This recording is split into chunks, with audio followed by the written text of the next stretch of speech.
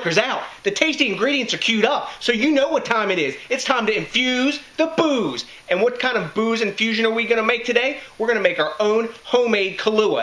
And it's going to be flavorful, high ABV Kahlua. Regular Kahlua clocks in about 26.5% ABV, if memory serves. This homemade version that DJ is going to put together for you here is going to clock in at 40% ABV. We're going to use a whole bottle of vodka and over a cup and a half of dark rum. So, what do we got for ingredients in this? Let's start out with our dry ingredients list. I've already pre-loaded it into our sanitized gallon jug because who wants to watch me pour ingredients into a jug?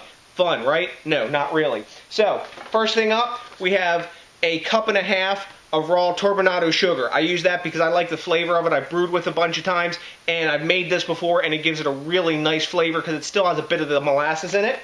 After that, I use 12 ounces or three quarters of a pound because they don't even hardly sell pounds anymore of whole bean coffee and I'm using, um, what I get here? I got Caribou Sumatra medium roast. And remember guys on this don't buy cheap coffee it doesn't give the same flavor the the darker roasted or at least medium roast quality coffee like caribou starbucks one of those guys gives a way better flavor on this it's what controls the flavor of the drink because basically what you're making is an extracted coffee here when you put this vodka in there and the rum the quality of the vodka doesn't matter so much i've tried really good stuff and i've tried this cheap stuff which clocked in at about $5.99 a bottle it makes no difference. And the rum, yeah, if you use really cheap junk rum, you can taste that, especially if it's dark rum. Clear rum, not so much, but dark rum, yeah. So for the next ingredient, I used a whole cinnamon stick. There's one in here. And I also used two whole Mexican vanilla beans. Now, why do you use Me Mexican and not Madagascar? Because Kahlua is traditionally a Mexican drink, so I use Mexican vanilla beans. I've also zested, if you can see it here, the nice orange pile on top. I zested one medium orange. I used the scraped style type zester. You want to keep as much pith as possible off the inside of that, that zest because sometimes it can make a bitter or off flavor. So let's pop our demijohn open here or gallon jug. And what I have here is one teaspoon of cocoa powder. You can use uh, cacao nibs if you want, but I, I like the way it comes out better flavor-wise. I think you get a more pronounced coffee sort of chocolate combo edge to it if you use the powder as opposed to the cacao nibs. So we're just going to pop that in there, nice and easy. Next, we're going to load up. We're going to go into our uh, wet ingredients here. We've got a cup and a half of dark rum. Now, you don't have to use the dark rum, but I think it gives it a nice flavor edge that you don't get if you only use vodka. Okay? So, got that all poured in. See, this is easy, guys. We're pouring stuff into a bottle after collecting ingredients. There's no magic here, uh, witchcraft, voodoo, none of that. So now we're going to pour 750 milliliters or a whole bottle of our vodka into our gallon jug. Now, why are we using a gallon jug? We could use something a little bit smaller, but we're going to need to shake this. And when you use a when you use a gallon jug, you got a lot more area to shake with, right? Right. So, killed our whole bottle. Now, this bottle we can save um, if we want to give this to somebody. Say you want to give it as a present, a whole bottle this. Makes an awesome presentation, and it's a cool present that I'd like to get. Um, you know, I usually give out smaller bottles so we can spread the love a little more. But if you make a bigger batch, you can save these 750 milliliter bottles and um, use them to put your present in. Like take the label off and you know dress it up a little bit. So now we've got all of our ingredients in our jug, as you can see here. So we're going to do something really technical now. We're going to shake it. Now, the reason we're using whole bean coffee and not ground coffee is because if you use ground coffee, it tends to be a real pain in the butt to uh, get out of the bottle later because we're going to have to filter this and you know get our finished product. But there you have it. Real simple. And what I'm going to do is as this, you're going to let this sit for three weeks. And as I go through the three week stages, we'll take some pictures, you know, starting today and show you what it looks like. And I'll be back with you three weeks from now, me. We'll show you filtering and preparing the final product. We'll be back for you in a flash. See you then. Peace.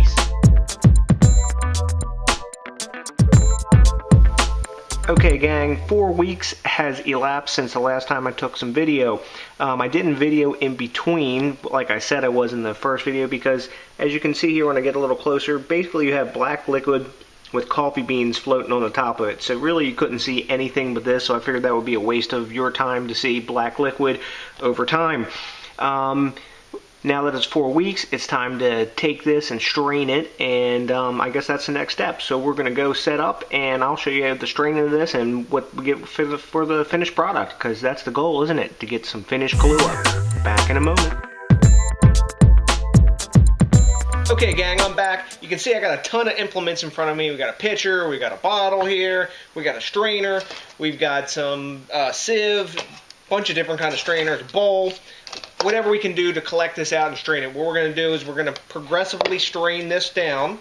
As you can see, we've got like um, pretty open and big to very strained with a triple paper filter here and then a, like sort of a poly mesh filter from like a coffee maker because we've got coffee in here so that works doesn't it of course it does um, one thing I neglected to mention a few moments ago was one of the ways you can tell this is ready is that the coffee beans will look slick on top and when I got to three weeks, I decided to wait a little bit more because the coffee beans, without being agitated, didn't look slick. They were kind of dry looking. Once they look slick, you can tell at that point that they've really like absorbed the vodka, gone in and out, did their respirating or whatever they do, and um, have given up their lovely flavor to said vodka. So I'm going to do a little bit of a setup here, and I'll be right back, and we'll get into our straining. Back in a flash. Okay, gang, you can see I got my sieve uh, or my strainer set up here. Nice wire metal basket type strainer, and as you can see, it fits perfectly into our uh, mouth of our pitcher here that we're going to strain our lovely liqueur into, or Kahlua, whatever you want to call it.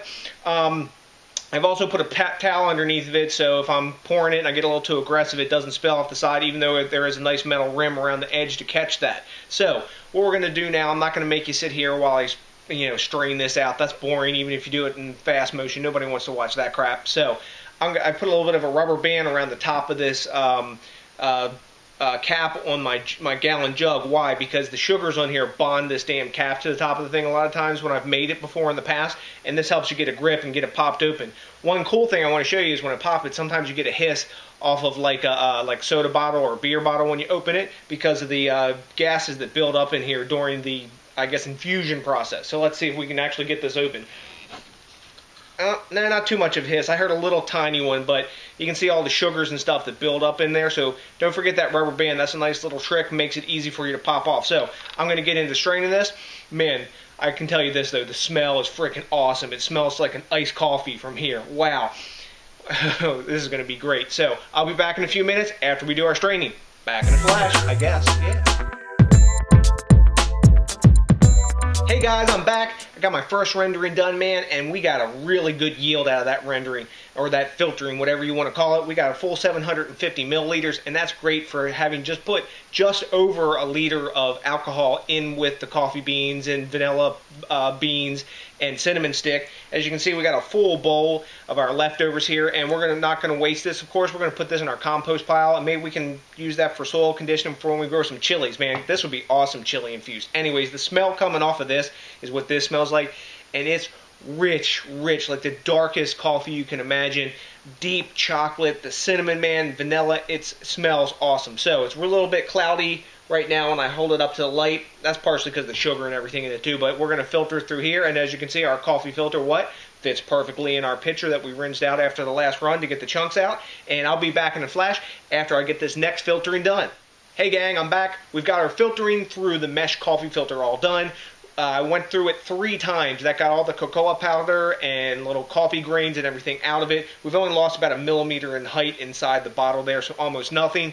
And we're going to go to the next level. We've got three paper coffee filters here connected onto our canning funnel with a rubber band. So we're going to put it through here. This will be the slowest process of it, and this should get it pretty darn clear. When you're going through three layers of paper, that'll take anything that's uh, too big out of it. So I'm going to go through that process, and I'll be back when it's done. Yeah. Hey guys, I'm back. We're almost at the end of our homemade Kahlua making road or coffee liqueur making road, and I got it filtered through the uh, triple media or triple uh, paper filters, and um, it took about a half hour to do that. You could do it a little bit faster if you put some pinholes in there, and I think it'll work just as well, and it'll flow down in probably about like 10, 15 minutes, a lot less time. So you know what, we learn something every time we do this process. So it's pretty darn clear. It's always going to be a little bit hazy, remember, when you make this recipe, unless you have some really serious filter packs. Why? because when you put cocoa powder in there, it just hazes out the the uh, liquid a little bit, but it's pretty clear. There's no trub in it, and there's no particulate matter. That's what we want. So I tasted this, and for my taste, it's a little bit too black coffee for a coffee liqueur. So what I did is I took some raw sugar. As you can see, it's kind of a sort of a I guess off-white color here or caramel color because I used raw sugar and I made simple syrup out of it, about a half cup. So a half cup of water and a half cup of uh, raw sugar and I'll put the how to make simple syrup you guys probably know, but I'll put that down in the notes section. So what I'm going to do now is I'm going to mix this into the bottle here to taste, and I'll show you how much I put in extra when I get back. I'll be back in a few seconds, or at least a few seconds for you. Okay, folks, I got the flavor of the uh, Kahlua or coffee liqueur to where I like it. That's the gorgeous thing about making this stuff at home and doing it, uh, you know, like DIY type project because you can make it as sweet or as bitter as you like. Remember, coffee's got that strong bitter flavor. I've dialed this into basically like espresso with sugar in it. That's where I like it. I think it works really well being a little bit more towards the bitter than the sweet and like standard Kahlua is more towards the sweet side. Um, if you want it sweeter, you just add more simple syrup. Um, I added about a half cup of simple syrup into this. So we've got way necking up on the 750, which 750 mils is about here. So, you know, put it up to about there. Um, so full 750 mils now. So let's get a taste and the aroma on this and see what's up in that department because that's what it's all about, isn't it? Let's get a little half shot of this because remember, um, you may think, oh, DJ's only having a half shot of Kahlua. That's pretty late. No. Remember, this stuff is 80 proof, okay? Whereas standard Kahlua is 40 proof. So this is double the alcohol of standard Kahlua. So when I take a look at it, um, eh, there is light coming through it. It's got like sort of some golden amber brown hints coming through it when you swirl it. It's really coating on the inside of the glass, almost like a thick stout beer would be. Let's see what the aroma is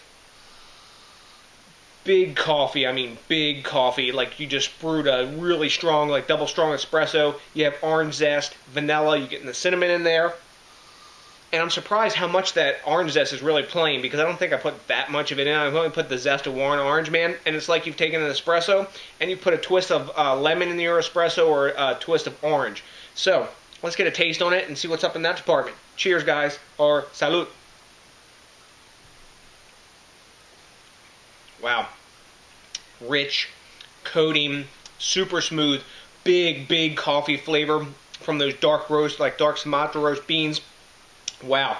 It's got enough sweetness that it balances off that bitterness, but to me it's not cloying. If it was more sweet than this, I'd think it, I would call it cloying probably. Now remember, once you add sugar to this, this will amp up slightly over as it sets and, and goes out through the entire bottle when you get a little bit more time on it than what I'm giving it right now. But for what it is, it goes down super smooth. There's not a real big burn now that we put a little bit of this extra simple syrup in there. That kind of calms that down. And I think it actually tastes less boozy than the store-bought Kahlua. So guys, super simple to make. The, all the instructions, as always, the recipe and everything will be right down here in the notes section. And if you try this, let me know and let me know what you think of it. And remember, you can make it taste exactly how you want by two things. One, how long you're leaving it steeping. I wanted more coffee flavor, so I left it an extra week this time. I wanted to see what happened. And man, it delivered in spades, that extra coffee.